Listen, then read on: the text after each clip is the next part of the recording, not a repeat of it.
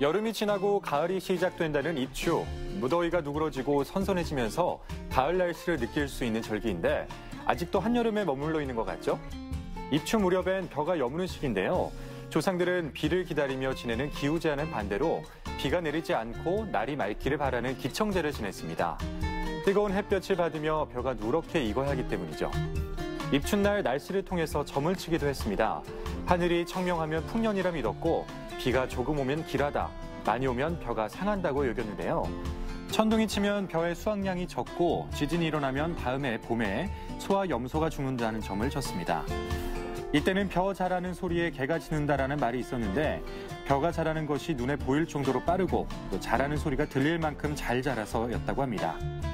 어정 7월과 건들 8월이라는 말도 있는데 이추 때는 김매기가 끝나고 농촌이 비교적 한가한 시기여서인데요.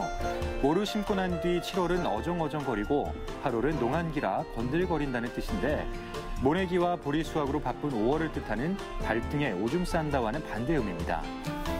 시원한 바람이 불어오는 입추 땐 조금 이른 감이 있지만 김장용 무와 배추를 심기도 했습니다. 집 나간 며느리도 돌아오게 한다는 전어는 입추를 전후로 제철을 맞는데요. 뼈채 먹어도 될 만큼 부드럽고 영양도 풍부해 이 무렵 인기 음식이었습니다. 아직 가시지 않은 더위에 체력 보충을 하기 위해 추어탕도 많이 먹었고요.